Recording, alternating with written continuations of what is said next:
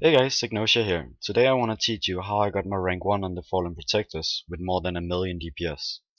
You won't be able to reach those high numbers with the usual Affliction playstyle, and quite a few people have asked me how the hell I reached so high DPS. Hope you enjoy. So basically, this trick is all about Soul Swap and how you handle it. I will start off by explaining how dots exactly work to avoid confusion. If you already know how dots works, with snapshotting, click on this annotation. When you apply your dots, they will take a snapshot of your current stats, which are crit, haste, mastery and spell power, and keep those values till you reapply the dots, or if they expire.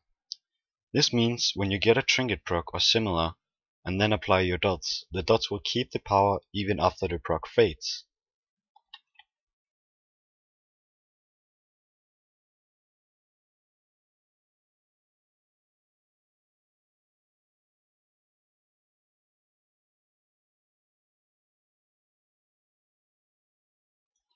Now, how does dot snapshotting work with Soul Swap?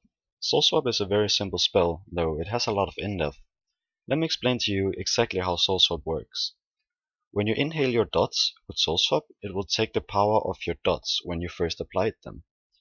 And it will also snapshot the duration your dots had when you inhaled them, which means when you when you exhale your dots to the next target, they will have the exact same duration as when you inhaled them, while the dots on the target you inhaled won't have the same duration.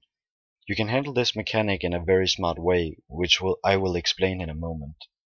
Do take in mind that when you inhale your dots, you will have 3 seconds to exhale your dots to another target, otherwise you will lose the soul swap, which will cost you a lot of duration on your super buff dots. So now that you know how soul swap works, let me explain to you how the trick works. Basically do your usual burst. Apply dots as soon as both trinket procs, Soul swap to another target. Soul, soul burn a soul swap just before your trinkets and similar procs runs out. And then keep swapping till everything is dotted. Now inhale your dots again, swap target, haunt or malefic grasp for 2 seconds, exhale your dots, then inhale them again and repeat.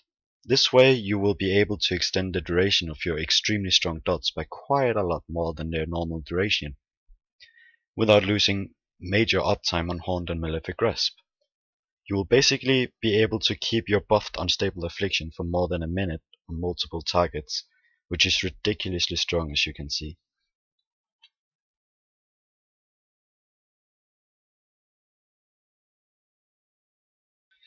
This trick applies to every fight with access to multiple targets, which is very common in the Siege of Orgrimmar, though it is extremely hard to manage soul swap like this on fights where you have the boss and a lot of ad spawning such as Norushen.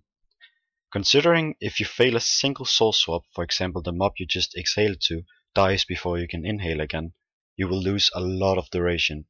But if you can master this technique, you will see extremely good results. That was it from me today guys. Hope you enjoyed this little trick and I hope you will be able to produce some huge numbers on the DPS meters. Thanks for watching and don't forget to comment, rate and subscribe, it really helps me out a lot. See ya guys.